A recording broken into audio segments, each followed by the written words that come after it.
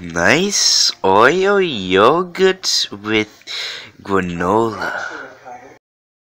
This is a generic person here, and here is a Raspberry Pi V3B+. And I got this for my birthday, but that's not what we're here for today. It's this is what we're here for.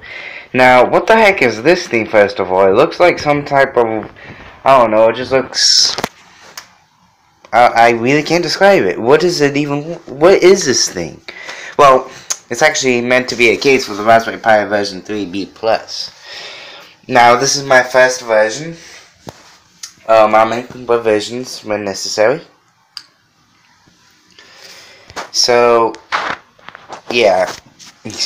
So, let's actually get this keyboard out of the way. Alright, so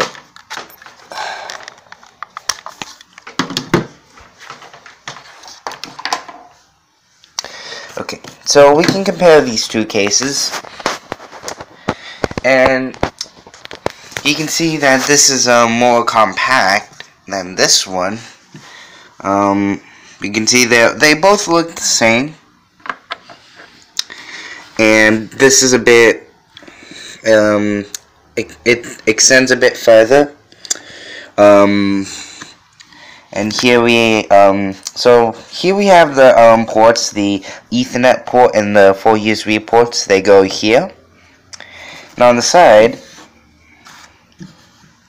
you see that we got um, power the ports um, here this for ports necessary to go to here.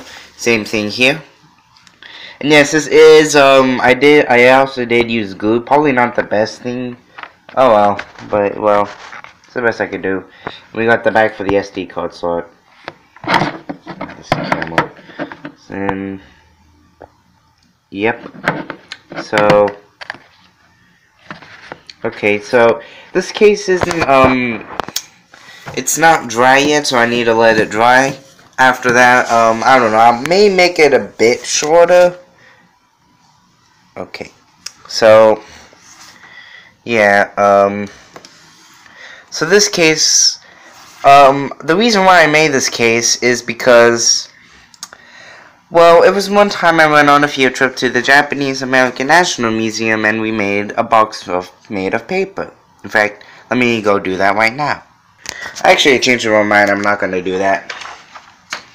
Well, yeah, we just, um, what we had to do is that, yeah, it was a, it was like an origami box. This was based on an origami box, except I just cut part of the box out. You can even see, like, where I drew. I even traced the Raspberry Pi. So, um, so I put the Raspberry Pi in the box in the corner. Then I cut it out, and it it didn't look like this. It only had this side and this side. Um, along with a bit of a little um, thing over here and here. I glued it, um, you can't see it now since I already glued it down, but probably the only thing recognizable from that box is like, and I don't think you guys can see it very well, maybe over here, but right here is, um, where it was folded. That was where it was folded. Um, I could, I could have, I should have probably cut that off.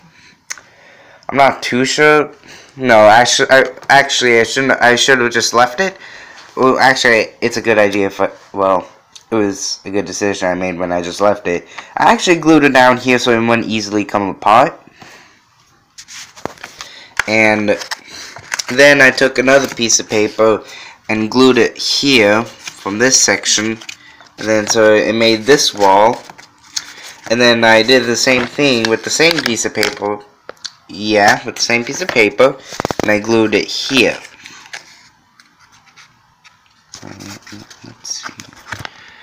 And there was a bit of gap, a little gap here, so I made, it's actually, yeah, see, yeah, so there was a bit of a gap here, and here's the outline, right here. And so I just got a piece of paper. I just like used scrap, scrap paper. Um, but then my grandma threw um, the rest of the box away. She She thought I didn't need it, but I still did. But that's okay. So then, um, after the whole box shape was finished, I then um, cut out. I put the Raspberry Pi in and was able to trace where the ports were. and um, so then I cut, uh, made a hole here. Can turn this light off. So I made a hole here. We cut it out.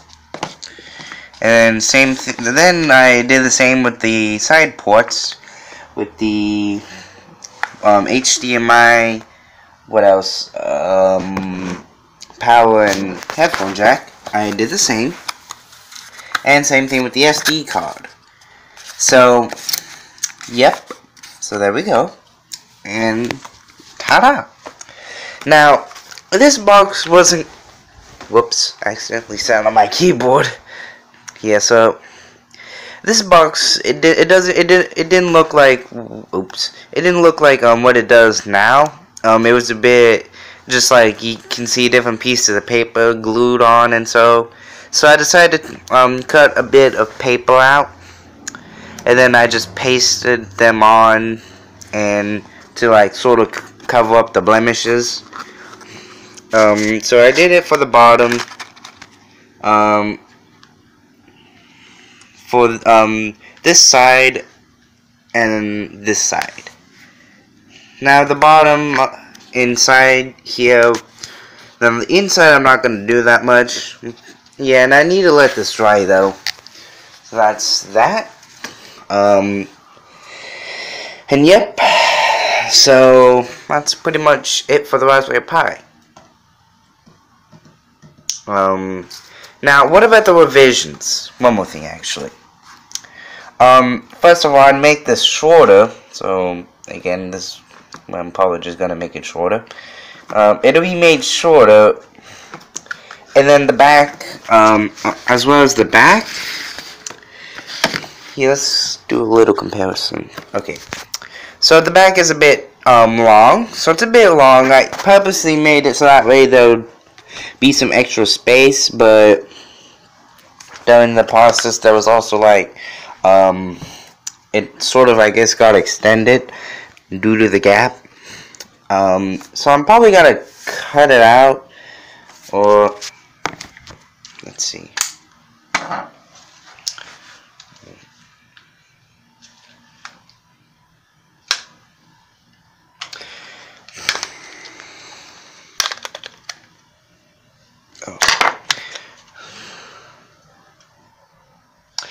So, yeah, I, um, uh, okay.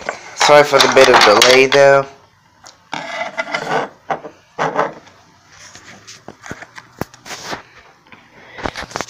So, yeah, I probably need to, like, oops, cut all the way to there off, and then I will just redo the ending. So, yeah, this is the original, um, 1.0 case, V1.0.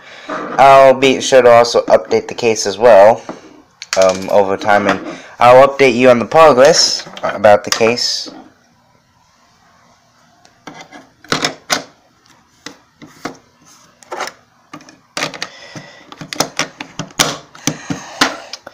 And yep, so that's it for this case today. So that's all for now.